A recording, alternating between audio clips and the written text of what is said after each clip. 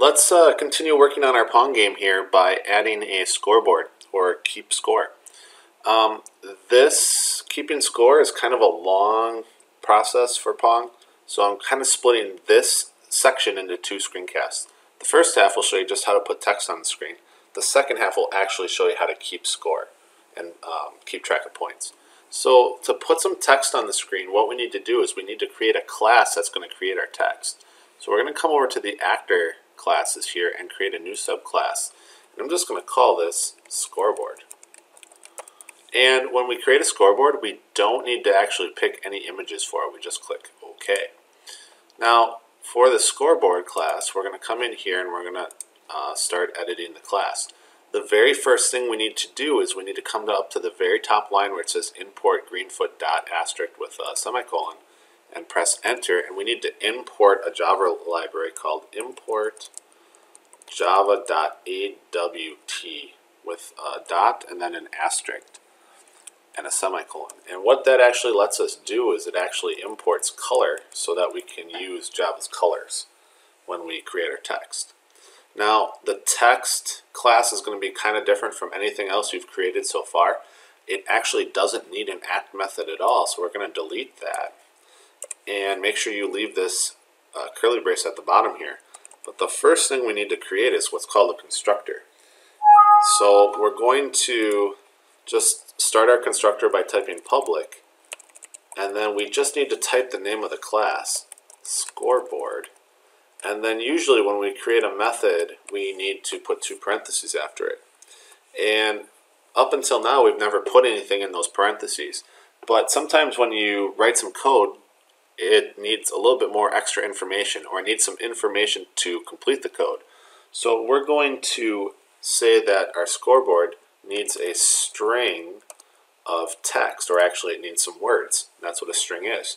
So when we create our scoreboard, it's going to use this text. Also, a constructor is different from a method because it's code that only happens once when the actor is constructed or made on the screen. So whatever we write here in this constructor, it's going to happen once the very first time the scoreboard is put on the screen.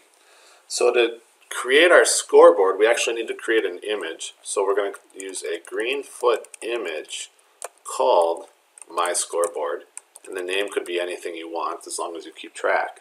And that's going to equal a new Greenfoot image.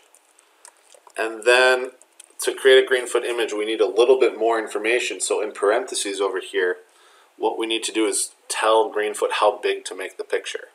And so we're going to use our words that we use here by measuring it. We're going to say text dot length. That's a method, so we're going to put parentheses after it times 20. So for the length of our image, Greenfoot's going to count the number of letters in our word that we're going to use for the scoreboard and multiply it by 20 pixels. So if we type the word like um, Ligocki, which has seven letters in it, Greenfoot's going to multiply 7 times 20 and make a 140 pixel wide um, image.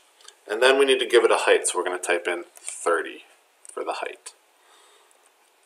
Next, we need to tell Greenfoot what color we want our text to be. So we're going to say my scoreboard dot set color, and in parentheses we write color, and then dot and the color we want to use.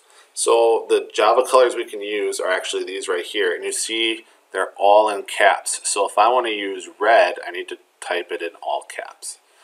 So for scoreboard, I'm going to like go color dot red, and then a semicolon after that, we need to actually draw the words on this, or draw the words. So we're going to write my scoreboard dot draw string. So this is drawing the words actually. And here in parentheses we write what the string we want to write is. So we're going to write the text right here. And then we follow that with a comma and then where inside the rectangle we want to um, draw it. And this is measured from the very bottom left corner, like down here in the bottom of the T, of where the text should start. So I want to start like two from the edge of the rectangle we've drawn and probably like 20 down because we don't want our text to hang off the bottom. So I'm going to put 20. You can play around with those numbers a little bit. If your text is cut off, you probably have to adjust these numbers right here or make your image a little bigger. So I'm going to add a semicolon there. And then the last thing we need to do is we need to um, set the image on the screen. So we're going to say set the image or actually place the image on the screen. I want to put my scoreboard on the screen. And so this will run the first time the uh, scoreboard is made. And now we need to make a method to have it actually update while we're playing the game. So that's just a regular method called public void, and I'm going to call it update. And again, we need to give it some text, so we're going to write string text. I'll show you how this works in just a second.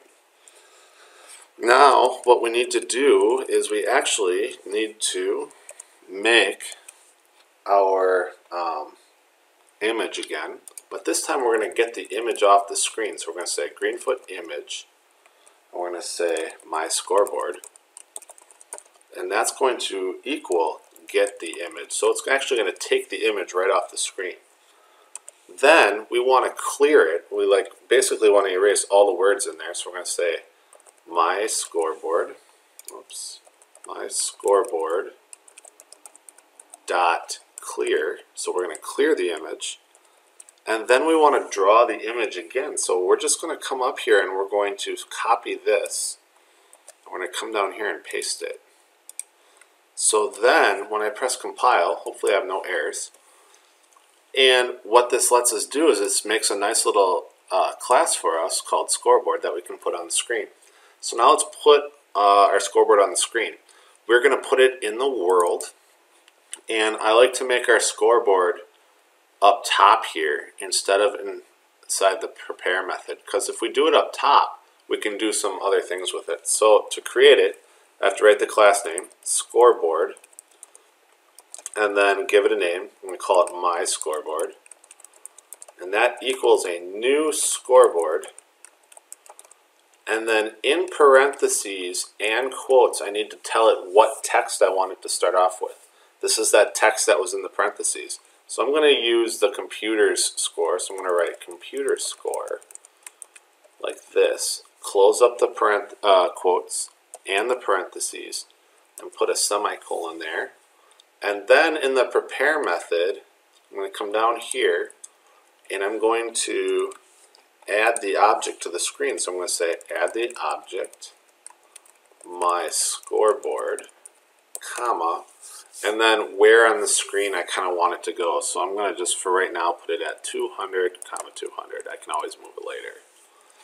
And now when I press compile, if I did everything right, I can come out here and you can see there's my scoreboard. It says computer score and it's in red. Now there's um, a whole bunch of ways we can work with the scoreboard here or text on the screen. So in the next screencast, you can watch how to um, have the scoreboard update.